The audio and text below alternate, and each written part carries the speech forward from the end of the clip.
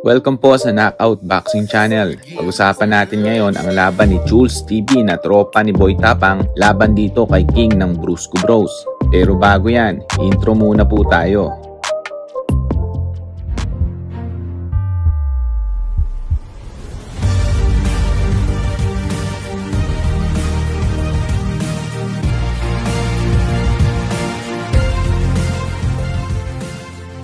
Bukas na nga po magaganap ang laban ng dalawa dahil na rin sa tulong ng organizer at utak ng event na si Maka GAGO. Ipapakita ko sa inyo ang ilan sa mga boxing trainings comparison nila King ng Brusco Bros at si Jules TV at magbibigay tayo ng konting reaction at prediction Umpisahan na po natin. Mauna na po tayo kay Jules TV. Kung mapapansin po natin eh mas matangkad siya kumpara kay King ng Brusco Bros. Advantage na yon pati na ang reach niya. Si Jules TV eh tropang dikit ni Boy Tapang.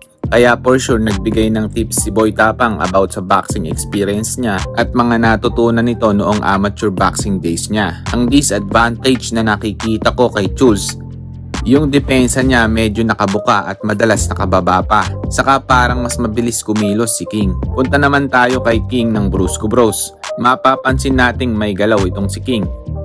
Notable din yung head movements nito Dagdag pa natin eh, parang may rhythm yung movements niya dahil in and out. Malinaw na advantage yon. Ibig sabihin, may disiplina sa pag-atake at hindi sugod lang ng sugod. Ang negative lang na nakikita ko kay King eh kung tatagal ba ito at matapos ito ang apat na rounds. Dahil alam naman natin na sa boxing, kahit yamado ka sa lahat ng aspeto kapag nawalan ka ng hangin, eh for sure yun ang ikakatalo mo.